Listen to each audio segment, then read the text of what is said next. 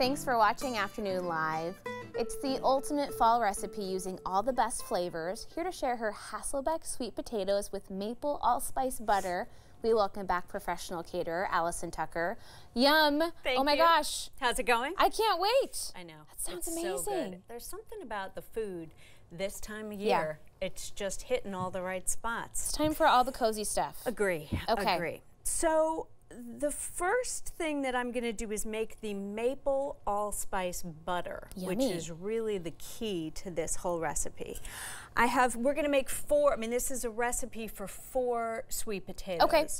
And so I'm going to start with 4 tablespoons of butter melted in a nice pan. Do you go unsalted? I always go unsalted because it's what I always have. Yeah. I like to control the amount of You salt. You can always add salt. You can always add Okay. salt, and I, you know, it's that's a sort of classic chef Yeah. thing.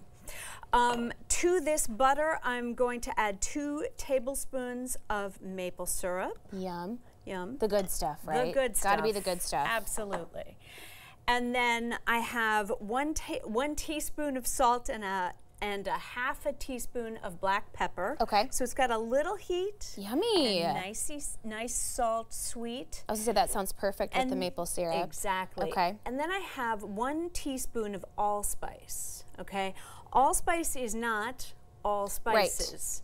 Right. It is a it is a from a berry, a dried berry, and it is a seasoning. It's a spice that tastes like the combination of cloves, nutmeg, Right. pepper, and cinnamon. So they call it allspice, but it contains just one Some spice. well, it contains the flavor of spices, but only one sure. spice. It makes so me think of just everything ground. warm, right? It just like it's the perfect. It's the perfect cheat. Yeah. For, you know, having a ton of ingredients. There you it go. just knocks it out of the park Amazing. immediately. So that's that is the butter. Okay. Now we have made the butter. Okay. And now is the time, as with all great Thanksgiving recipes, that we turn to chopsticks. okay. What? Makes sense. Um, and we are going to use these chopsticks as a guide. Okay. I think Okay. I've seen this, but Yeah. I've never done it. It's a pretty. I've I've kind of pre pre done this a little Yeah. bit for you because the last thing we want to do is Try something new with a sharp knife on live television. television. um, so what you're going to do is you want to cut. You put this is a garnet sweet potato Okay. or a garnet yam. We could get into what makes Oh, it a yam yeah. and what makes it a sweet potato. Another but we'll time. both Yeah. just yeah.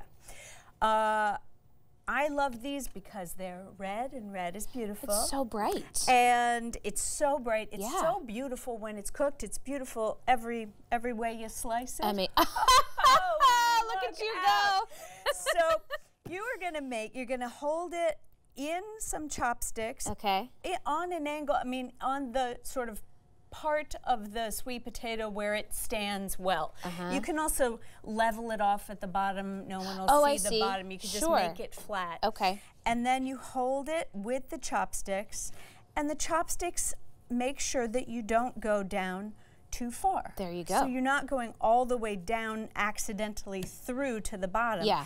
And you're cutting slices that are about an eighth of an inch thick, Okay. wide. Uh, and now you're done there. Easy. Okay. Okay. So easy. Then you're going to take. Um, you have a oven that's preheated to 400 degrees. Okay. You're going to take a brush, Oh, yes. okay, and then you are brushing the tops and sort of in the middle. We're going to hit this twice. Okay. Okay. So right now it's not as important to get it in there. I see. Sometimes the when you first cut the sweet potato, you can't get in there. Is it's still kind of tight. Yeah.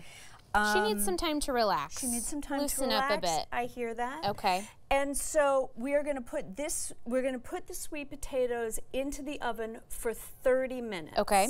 Okay.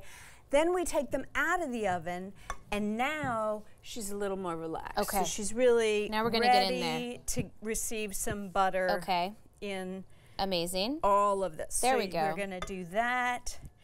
And then she goes back into the oven for another 15 minutes. Okay.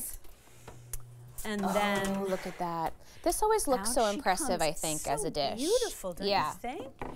And now this is so this is completely Oh, yummy. and I fanned it out a tiny bit, which you can do with a with a fork. yeah. I of course don't have a fork. Let's see if we have one because this sorry, I forgot. a Got some television chopsticks, though. kitchen. Oh, chopsticks.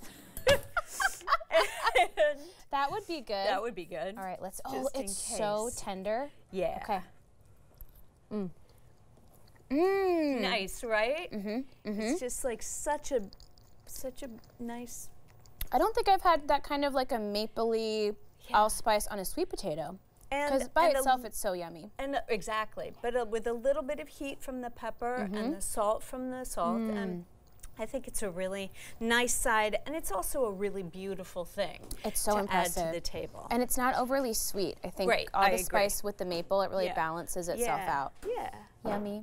Thank you so much. Absolutely, it's my pleasure. Happy cozy Happy- cooking season. Yes. Okay, we'll have this recipe and more about Alison on our website at katu.com. We'll be right back with more Afternoon Live right after this.